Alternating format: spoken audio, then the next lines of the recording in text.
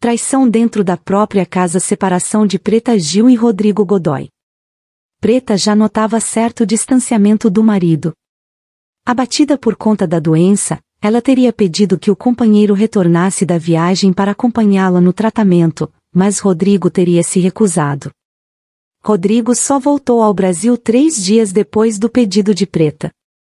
Foi quando ocorreu o flagra ao lado da amante no aeroporto, que revelou a infidelidade do rapaz. Rodrigo Godoy admitiu que tinha um caso com Ingrid e ainda revelou que tudo começou dentro da própria casa da cantora. Os dois teriam se aproximado por volta de outubro do ano passado, três meses antes de Preta descobrir o câncer. O que você acha? Deixe seu comentário, inscreva no canal e deixe seu like para ficar por dentro das notícias quentes.